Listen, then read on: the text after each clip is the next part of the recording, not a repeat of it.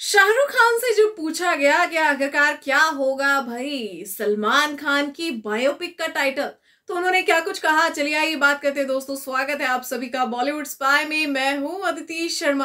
तो दोस्तों, आप सभी जानते हैं कॉफ़ी विद करण में बड़े बड़े खुलासे होते हैं। जी हाँ नामी गरामी चेहरे हमें वहाँ पर देखने को मिलते हैं और फिर वो नामी गरामी चेहरे बड़े बड़े बयान दे जाते हैं। तो ऐसा ही एक प्यारा सा बयान जो है शाहरुख खान ने भी दिया था, सलमान खान पर। दोस्तों बीते कॉफ़ी विद करण के सीज़न में और करण जौहर ने उनसे ये सवाल पूछा था कि आप अपनी बायोपिक का नाम बताइए।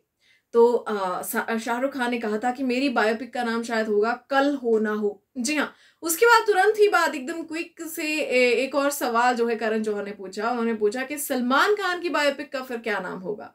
तो शाहरुख खान ने कहा कि भाई, कल हो या ना हो, मैं फिर भी चलूँगा। जी हाँ तो यहाँ पर उन्होंने किया तो मज़ाक था, लेकिन उनके कहने का दोस्तों ये मतलब था कि भाई, कुछ भी हो जाए, कल हो या ना हो, सलमान खान फिर भी चलने वाले हैं। तो जिस तरीके की सुपर हिट मूवीज़ जो है सलमान खान लेकर आते हैं आमिर खान हो या फिर सलमान खान हो, दोनों ही इस बात को बहुत सराहते हैं और ये तीनों ही खान एक दूसरे की काफ़ी ज़्यादा रिस्पेक्ट करते हैं। तो दोस्तों, शाहरुख खान के इस आंसर पर आपको क्या है कहना? कमेंट्स में ज़रूर बताइए। मिलते हैं नेक्स्ट वीडियो में।